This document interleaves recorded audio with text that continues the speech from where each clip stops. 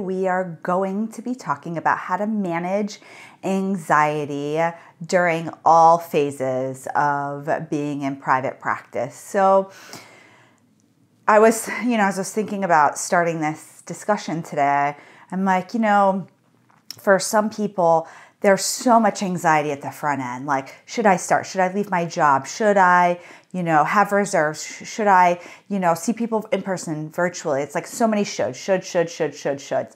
And that can be very anxiety producing, right? You can it can feel overwhelming. It can lead people to like analysis paralysis. They are overthinking, overthinking, overthinking, or not wanting to move forward.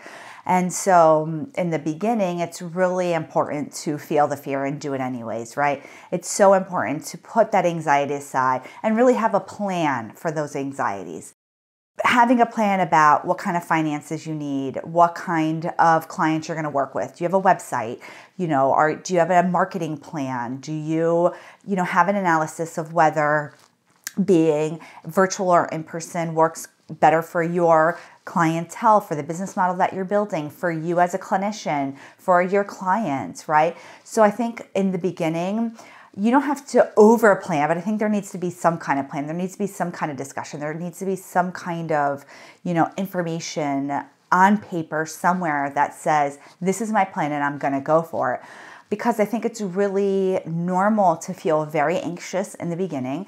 And it's normal for people to be like, well, I'm just going to quit my job or, you know, I'm going to quit my job and just go into private practice. And if you don't have a plan, you're going to feel anxious because you don't have a plan, you don't know what you're doing. And so whether you work with a private practice consultant, you read Facebook forums, you know, or you do something to learn how to build a practice, I think it's important in the beginning to be in that information gathering and planning. Even as a group practice owner with a well established group practice, that anxiety still comes up. So it doesn't go away, it just transforms in the way that it looks. Instead of saying, should I, should I, should I, now it's what if, what if, what if.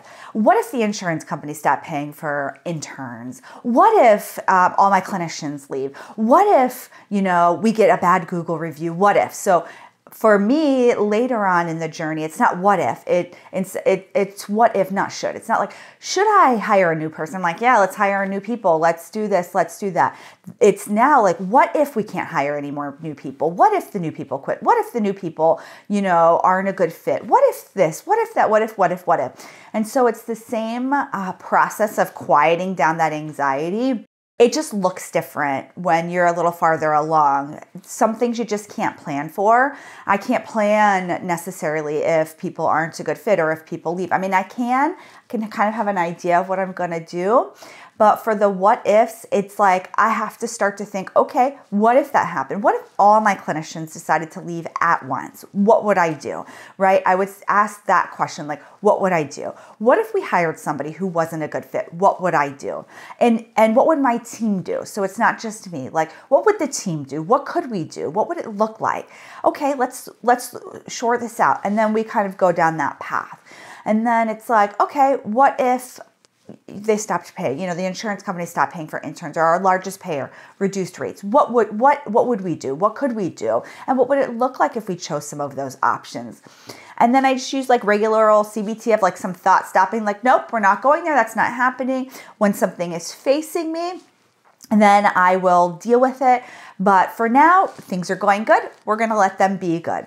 And so we can use our own tactics that we use and we teach our clients to use on how to quiet some of those thoughts. So I talked to you about the sort of like starting the solo practice and then an established group practice. I want to talk to you about the anxiety that comes around in the middle. But first, I want to thank our sponsor, Therapy Notes.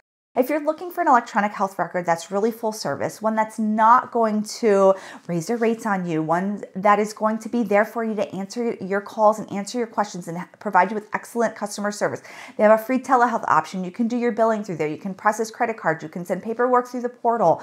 So it is really a full service electronic health records. I want you to check out Therapy Notes. If you're in the middle, one of the questions I think that uh, come up a lot and that can produce some anxiety is what do I do now? What do I do next? So it's like in the beginning, it's like, what should I do? And uh, towards uh, the more established, it's like, what if all these bad things happen? In the middle, it's more like, where do I go next and what do I do? Do I raise my rates? Do I stop taking certain insurances? Do I bring on a contractor? So then, like, the world becomes your oyster and you're able to do a lot of things. And I think that can be a little bit overwhelming to people too because they're not sure, like, the risk of bringing on a contractor, an employee, or the risk of raising their rates and their clients getting mad or so there becomes this level of risk that you have to be comfortable with if you want to bloom, right? And so if you want to bloom and you want to get bigger and you want to maybe make more revenue, want to increase your goals, whatever it looks like,